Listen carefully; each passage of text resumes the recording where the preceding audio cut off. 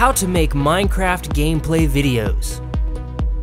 First, download and install Ezvid at ezvid.com.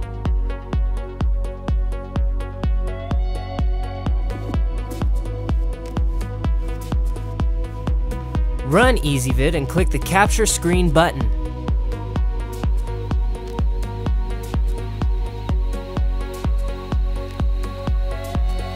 Launch Minecraft and record your gameplay.